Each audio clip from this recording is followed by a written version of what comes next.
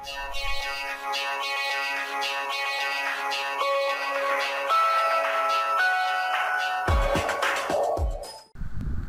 যে কারণে রাষ্ট্রপতির গাড়ি থামিয়ে অ্যাম্বুলেন্স পার। পুরস্কার পাচ্ছেন ট্রাফিক পুলিশ। রাষ্ট্রপতির গাড়ি মানেই ভিভিআইপি। আর সেই গাড়ি রাষ্ট্রপতির গাড়িবহরেই কিনা থামিয়ে দিলেন ভারতের এক ট্রাফিক পুলিশ। তবে এই ঘটনায় মোটেই বিভাগীয় ব্যবস্থা কিংবা সাসপেন্ড হতে হয়নি সেই পুলিশ সদস্যকে। উল্টো পুরস্কৃত হচ্ছেন তিনি।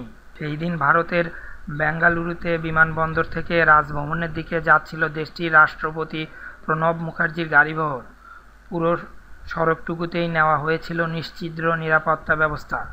নিরাপত্তার দায়িত্ব পালন করেছিলেন ট্রাফিক পুলিশের সাব ইন্সপেক্টর নিজলিঙ্গা পাও।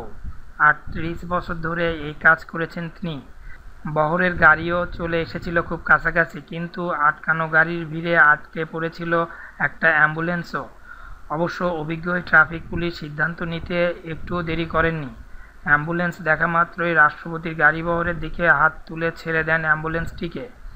এ সময় তাকে সাহায্য করতে এগিয়ে আসেন আরেক কনস্টেবল বিশ্বনাথ রাও।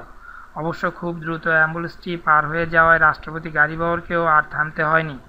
এই দুই ট্রাফিক পুলিশের সাহসিকতার ঘটনাটি সামাজিক যোগাযোগ মাধ্যমে ছড়িয়ে পড়ে।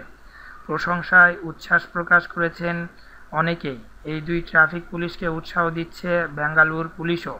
কমিশনার প্রবীণ সুদ জানিয়েছেন ওই দুই পুলিশ সদস্য সঠিক সিদ্ধান্ত নিয়েছেন। এরপর নিয়ম মেনে সময়মতো কর্তৃপক্ষকেও সব অবগত করেছেন। এই সিদ্ধান্তের জন্যই তারা পুরস্কারও পাচ্ছেন। আমার এই চ্যানেল হতে আপনারা যদি আরও লেটেস্ট নিউজ পেতে চান, তাহলে অবশ্যই সাবস্ক্রাইবের মাধ্যমে আমার সঙ্গে থাকুন। ধন্যবাদ সবাইকে।